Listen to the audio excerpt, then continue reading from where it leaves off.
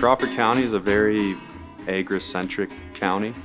There's a lot of farming in Crawford County, a lot of community support with helping farmers continue to operate day to day and season to season, and I wouldn't want to do it anywhere else. Crawford County is kind of like the land of milk and honey. and That's what I always tell people. We have so much available to us here as far as food wise. That's kind of my jam is food. What I like about being a business owner in Crawford County is that the support system I have has been second to none. The customers of the Flower Barn are definitely people who have uh, flower fever, for sure, on the greenhouse aspect. The fresh cut flower part of it is people that are needing things for like birthdays or holidays, sympathy pieces for funerals. It's a, just a way to show people they care. The Farm Bureau is a grassroots organization. It's a great organization to be a part of, whether it's getting your voice out in agriculture or talking to local or state level or even federal level lawmakers about issues with agriculture.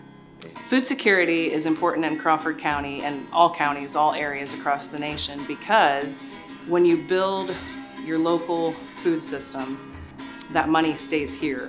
And typically your local food producers are using local businesses to supply their business with what they need.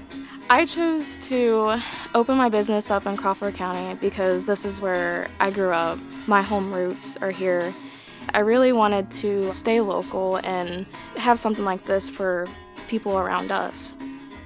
Here at Russman Farms, there's a wide variety of job titles and roles that need to be filled. We hire an IT person, we hire someone that schedules all of our beef and pork to be processed.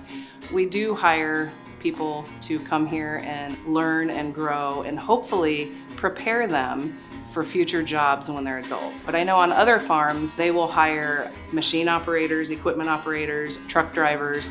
In the ag industry, it's more than just farming. There's, there's seed dealers, there's chemical dealers, there's equipment dealers and mechanics, custom applicators. We work very closely with our agronomists to get advice on seed, chemical, and fertilizer recommendations.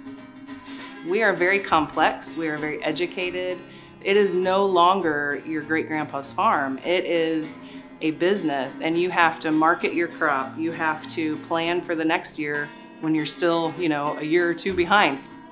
It's not just turning wrenches and, and driving tractors. There's, there's a lot of different technology in the tractors and to fix tractors. Uh, there, there's a lot of different routes you can go within agriculture and within the county. It's such a wide variety of opportunity around here. I love it.